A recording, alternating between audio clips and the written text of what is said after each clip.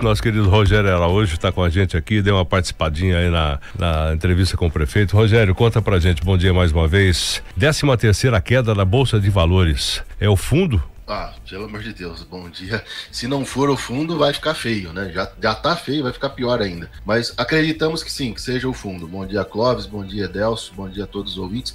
Magrão, aproveitar, rapidinho, queria mandar um abraço pro Alex Leitão, que mandou uma mensagem aqui para mim, e a Juliana, que falou ontem de mim aí, né? Falando das, das notícias que a gente traz. Um grande abraço aí para eles também. Mas vamos ver se esse é o último dia. Hoje nós estamos esperando um mercado mais otimista, né, mais para cima aí, querendo subir, vendo se se teremos alta, mas eu acredito que hoje o dia promete ser melhor. É, as expectativas em relação ao mercado internacional não são boas. Você, a Alemanha e a França, a Inglaterra, nesse momento, estão caindo mais de meio por cento. Então, o mercado lá fora já está azedo.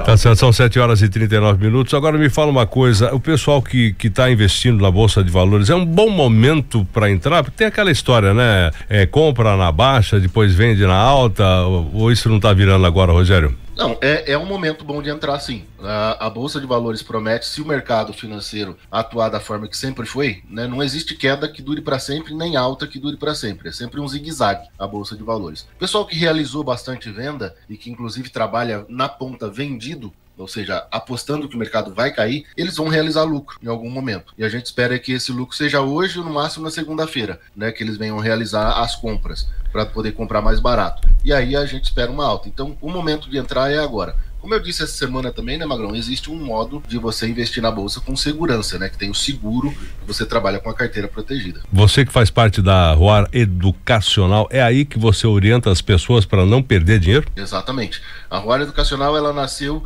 em abril de 2020, em plena pandemia, que alguns amigos me ligaram pedindo socorro que estavam perdendo dinheiro na bolsa. E aí eu montei a empresa para atendê-los. Então é uma empresa de consultoria voltada para educar o, o, cidadão a não perder dinheiro no mercado financeiro e a rentabilizar o seu dinheiro acima do tesouro direto, de uma renda fixa. Trabalhar isso com segurança, né? Colocar, ah, se vai cair a bolsa, se ela cair 60%, você não vai ficar negativo 60, vai ficar negativo 30, 40. Quando ela voltar, você chega no lucro muito mais rápido que quando ela caiu pessoal, por exemplo, em 2020, comprou Petrobras a 31, esperou janeiro de 2021 para chegar em 31. Nós que compramos nos mesmos 31, quando ela passou de 27, a gente já estava no lucro. Quantos mil pontos fechou ontem? 115 mil pontos. 115 mil. É, só na segunda que a gente vai saber agora aí se de repente a coisa vai estabilizar ou não, né? Tudo isso depende é. também de atitudes do governo, né, Rogério? Isso. É, o que acrescentou ontem na queda foi que os Estados Unidos, a, é, a, trajetória de juros pode mudar, pode voltar a subir os Estados Unidos.